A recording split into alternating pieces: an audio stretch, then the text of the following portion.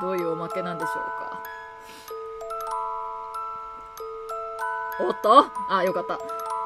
行方不明事件の真相。あー、これ知りたかったやつや。ねこれ、これ、やっぱつけた方がよかったんじゃないのつけた方がよかったかな？いや、もう今ね、録画は一応してるんだわ。あ、してんの？おまけで載せとくか。まあそうね。そうだね、ちょっと、じゃあこれは見よ見ようね、見よう、見ようか。う。行方不明事件の真相。おーおーおーえ、ええ次回作？マジ？ドールハウススクール。かっこ仮、おもちゃたちの異世界学校公開予定。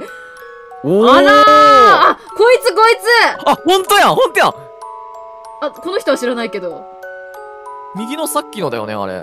そうだよね。だよね、多分。で、あれか、ルカちゃんじゃなくて、あれ？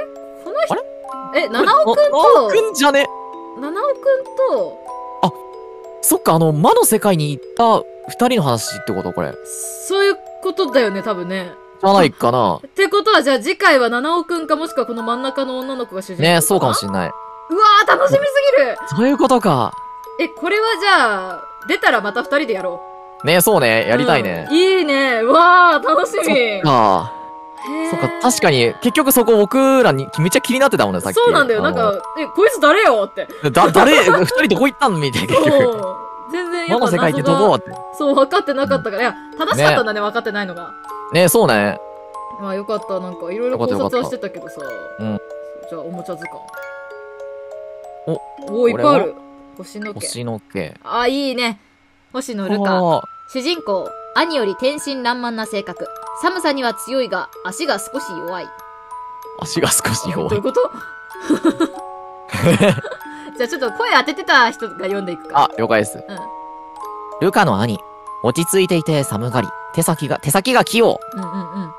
で、星野美和子っていうんだ。へえ、知らなかったん。ルカと七尾のママ、しっかり者。娘に手を出す奴には容赦しない。ああ、だからまあ、そうか。あれか白を襲ったってこともねなるほどね。はいはいはい。ルカと七尾のパパ。本当に。いざという時は肝が迫っている。いいね。なんだかんだこう、個性があって素晴らしかった。ね、な、謎のキャラやってた、これあ、でもこれとか、まあいいか。えーアヒル、ま遊び相手が溺れても自分は沈まないので助けてやれない。あ、なるほど。あおー、あれか、あのー、あ、助けてあげてって言ってたやつか。ああ、そうね。働き者小さいけど、パワーはすごい 遊具が、えー人間を乗せるのが好きなので、めったにおしゃべりしない。まあ、くしゃみはしてたけどね。ねね、してたね。はい、ラジコンたち。飛行機は公園上空を散歩中、UFO は誰かが真下に来るのを待っている。結局 UFO に話しかけられなかったし、こいつにも話しかけられなかったわ。ブーずっと空にいたからな。そうそうそう。じゃあ次これか？あ、うん金魚鉢。本当は池で泳いでみたい。あなるほど。ソフトな手触りのフィギュア。フィギフィギュア。フィギュア学校が珍しい。あー、だからなんか徘徊してたのか。ねしてたね。あー、こっち最初に呼べばよかった。おっと七尾が作った白猫のぬいぐるみの化け猫。鏡の世界を行き来で、行き来できる。うんうんうん。白の双子の兄。力を使い果たして、誰も見たことのない世界に旅立った。うー、切ねえ。ええー、切ない、本当に。え、てか、かわいい。うん。ねかわいいねか。わいい。えー、トラ。ルカが昔持っていたチャトラのぬいぐるみ。お腹を押すと音が鳴る。へー、そううなんだ。ーん。ルカのクマ。こう、あ、動かずにルカを見守っていた。ハートの刺繍は命の証。なんかあれだよ、プあの、プリキュアに変身しそうな。あハートのなんか支柱は命の証。あキュアなんとかみたいなー、感じキュアルカのクマ へー、なるほど。いいね確かに一言も全然喋んなかったもんね、ねのクマちゃん。あ、来た来た来これどんな国だよ。た。なんかおばさんみたいな感じだったよね。お城の小敵部隊長、所属。方向音痴ですぐに迷子になる。うんうんうん。これ、これ声変えて読んだ方がいいのかないや、わかんなんでもいいよ。音感のある金、この兵が小敵隊に配属される重は指揮指揮棒にもなる。へー。フランス人形 デスクドール汚れを気にしているので、座るときはハンカチを敷く。名前読んでなかった僕。自動販売機。プラスチック製のおもちゃ。コインがよくどこかへ行く。うーん。あー、あるよね、こういうの。確かにあったうね。ん。なんか、アンパンマンのやつやったわ。アンパンマン。これ。あ、オルゴール。うんうん。あ、どんな感じだった？えー、どん、どんな。アンティークな陶器製。風呂場で歌うのが大好き。うんうん。おー。赤い靴の絵本。うん。絵本でもあり、扉でもある。コレクションの整理ができない。確かにバラバラだったね。ね。確かに。うん。あっちゃこっちゃに落ちてたから。うんうんうん。あ本物のキッチンでピクニックをしていた。あえこれさ、思ってたんだけど、あれだよね、これ、キッチンで見た後にさ、うんあのー、ドールのさ、カゴの中に入ってたよね。これと同じもん多分。あ、ほんとうん、確かね、入ってたと思う。あ、なるほどね。そうそうそう。あ、じゃあ、その、おままごとの前に、キッチンでなんかウキウキピクニックしてたってことなんだ。かもしれない、かもしれないはいね。はいはいはい、そういうことね。三つ編み人形。お洗濯をしていた。アワローラという名前がある。へえ。アウアウローラじゃねあ、泡じゃなかった。アウローラ。てっぺんの点が。ごめんな、アウローラちゃん。すまねえ。アウロラか。アウローラ。あ、タートル。あ、タートル。ウミガメは手足を引っ込められない。あ、おもちゃなので夢が叶った。ああ、なるほどね。なるほどうね。ん木彫りの人形。みんなおじいさん。時には爪切れできた自分の家も壊して物を作る。うんうん、確かになんか、まあなそうだよね作ったりしてたね。チェス。対局してない時は白黒つけずにみんな仲良し。モテるのはナイト。ああ、ナイト様って言われてたね。確かに。囲まれてたやつだったね。ね。乗れるミニカー。商品にされるのも、廊下を往復するのも悪くはない。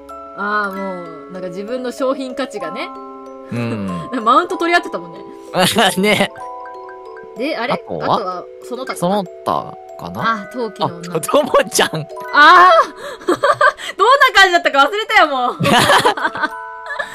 陶器の女の子。うん退屈している。昔は人間だった。よく見るとセーラー服を着ている。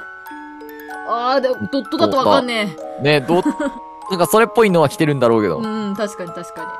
えー、ともちゃん。ともちゃん。えー、ルカの友達、都市伝説が好き。あ、なんかそんな感じだった。ここんな感じだった気がする。お、謎の不良。どう絡んでくんだろう、こいつ。ね回想シーンにのみ登場。七尾の学校の生徒のようだが。え。で、これが次回作に出てくると。ねそうね。うわ、楽しみなんかあれだよね。ってことは、これさ、この行方不明事件の真相の方さ、うん。こう真ん中の女の子は別のところからこの世界に迷い込んだってことでしょ？かもね。結局このさ、あのー、あれなんだ？あのー、神隠し事件っていうのはこれが原因ってことでしょ？多分こっちの魔の世界に飛んでるってことで合ってんのかな？解釈的に。だって、ルカちゃんが迷い込んだのが、まあ、おもちゃの世界で、うんうん。で、七尾くんが迷い込んでたのが、その、魔の世界ってことなんだよね、きっと。うん、そうね。あ、てか、あれか。ここにさ、この右上に女の子のだから、女の子が主人公かな、もしかして。ぽいね、そうかもしんない。七尾くん、今回もサブキャラか？でも完全にずっと主要キャラとしていそうな感じはあるけどね。うんうんうん。いえ、これマジで、なんかみんなもう、ビジュアルが好き。ねわかるわかる。もうイラストが好き、めっちゃ。ねうん、マジでイラスト良かったなほんとよかった。ドットもすごい凝ってたしね。本当にあの、ね、動きとかもよく再現されてたし、ドットでここまでやれるんや。本当にもう、立ち絵のさ、あの表情とかもやばかったよね。ね本当に表情の変化もすごい。最初のあ細かくの、白くんの笑顔を見た時の感動が忘れられないもん、私。ね手を伸ばすシロくん見たとわーってなた。ねめっちゃよかった。二人とも、うわーって叫んでた。頬を染めるルカちゃんも可愛かったんだよねな。可愛かったね。うん。うわ、次、いや、ゲームももちろんだけど、立ち絵めっちゃ楽しみ。ねそうだね。うわ制作大変だと思いますが、作者さん本当に応援してますか？応援しております。ということで、じゃあ、おまけ編はこれで終わりましょうか。はい。はい。じゃあ、これで最後にしましょう。はい。お疲れ様でしたお疲れ様でした耳垂れてるね。かわいいね。ね。